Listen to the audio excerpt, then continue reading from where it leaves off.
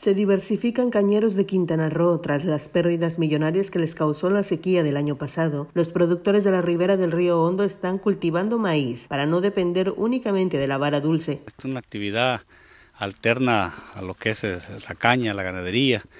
Yo creo que aquí siempre lo he dicho que lo que tenemos nosotros que hacer es este, diversificar la actividad económica de la caña y tener otros cultivos. Como verás la zafra pasada, tuvimos una zafra muy complicada por consecuencia de la sequía y por ende todos los productores pues nos fue un poco mal.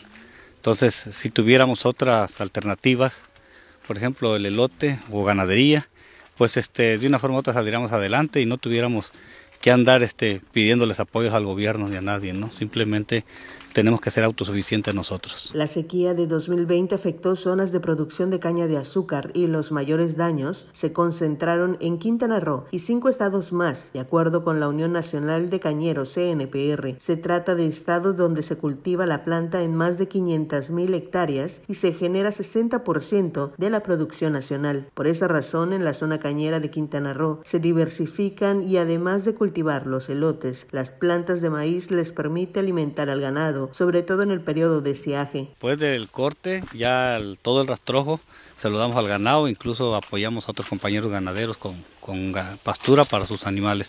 Y de hecho, pues es, es, todo esto es rentable todo, y todo se aprovecha. Los productores están comercializando el elote en la zona norte, principalmente en Playa del Carmen y Cancún.